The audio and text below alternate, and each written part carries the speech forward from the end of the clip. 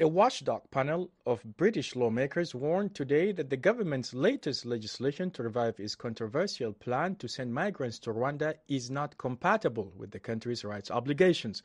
The news agency AFP says the ruling conservatives introduced the so called Safety of Rwanda bill late last year, shortly after the Supreme Court ruled that deporting asylum seekers to Kigali is not legal under international law. It passed after, on, after ongoing scrutiny in both houses of, of parliament. The legislation would compel UK judges to treat Rwanda as a safe third part, party or country. It would also give government ministers powers to disregard sections of international law. Parliament's Joint Committee on Human Rights said the proposal is not compatible with the European Convention on Human Rights and the 1951 United Nations Refugee Convention as well as domestic rights law. More than 700 Botswana nationals could be kicked out of Ireland after the European country moved to drive down the number of asylum applicants. Ireland's Justice Minister recently indicated Algeria and Botswana will be added to a list of safe countries as part of measures to reduce the number of asylum seekers. From Gaborone, Botswana, reporter Mqondisi Dube has the details. According to figures from the island's Department of Children, Equality, Disability, Integration and Youth, most of the 26,473 people who are seeking asylum in Ireland are from Africa. That includes 3,000 from Algeria and 709 from Botswana. Last week, the country announced it will add both Algeria and Botswana to a list of countries deemed to be safe. This will mean asylum seekers from these countries will no longer be guaranteed protection in Ireland and could be sent home. Expanding the number of countries deemed safe is seen as a key strategy to cracking down on rising asylum applications.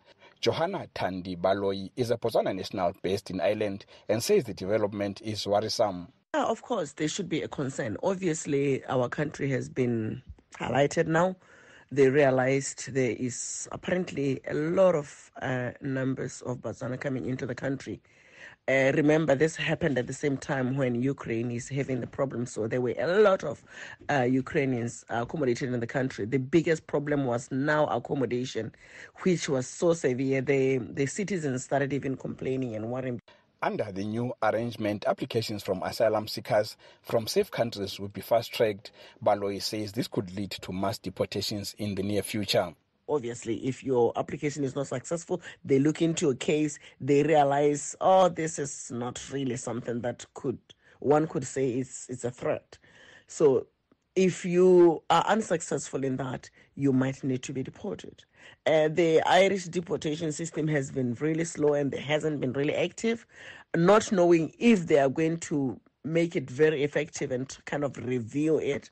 Of course it's a burning issue at the moment and people will be concerned Chanasi Putso was the chairperson of a 2022 campaign called Justice for Undocumented People Living in Ireland. She says the government is being pressured by public opinion to act on the growing number of asylum seekers. The locals like view us as people that uh, came to de- to depend on wholly on on the government coffers on false pretenses. So that's really something uh, that they don't really like. And as for now, it's, it's election uh, time in most of these Western countries, and uh, immigration is a, the hot uh, issue topic at the moment. Putso, however, says there is at least one benefit to Botswana being classified as a safe nation.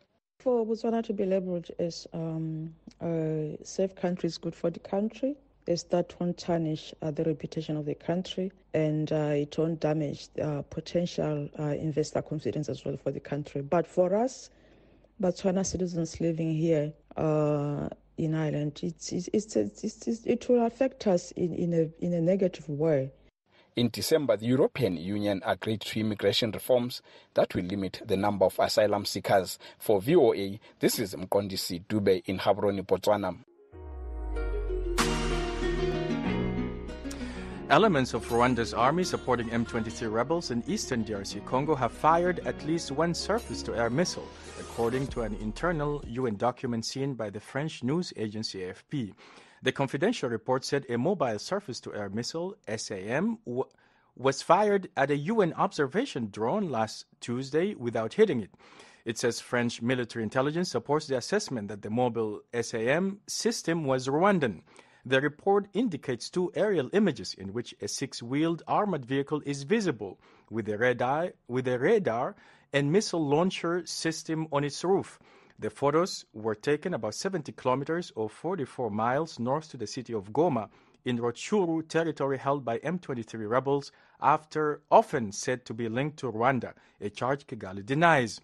In the document, the UN's peacekeeping mission says it has no past reporting of non armed uh, groups possessing the training, capital, or resources to operate and maintain a mobile SAM system. The African Development Bank and the UN Refugee Agency have said they are partnering to support displaced people and their host communities in South Sudan. Since the start of the war in neighboring Sudan last year, over half a million people have arrived in the country where resources are already overstretched. Most of the arrivals are South Sudanese who had been in Sudan for decades. Many are heading back to villages that barely have any services and where there is no humanitarian assistance available. Senior officials from the African Development Bank and UNHCR, the UN Refugee Agency, paid a joint visit to Gendrassa refugee camp in South Sudan's Upper Nile state. Mali Lore Akin Ogdal, the bank's vice president for regional development, integration and business delivery, and Raouf Mazou, UNHCR's Assistant High Commissioner for Operations met with government authorities, refugees, and members of the host community. We have decided to partner with the UNHCR because, as part of the bank strategy for the addressing fragility and helping uh, to bring to build resilience in the countries, one of the tenants is to leave no one behind. We are extremely and I think the international community should be very grateful to the government of South Sudan for their open policy in welcoming more refugees who are coming in. The visit comes in the context of strengthened collaboration between humanitarian and development access globally. The two sectors have recognized the need in recent years to work more closely with one member.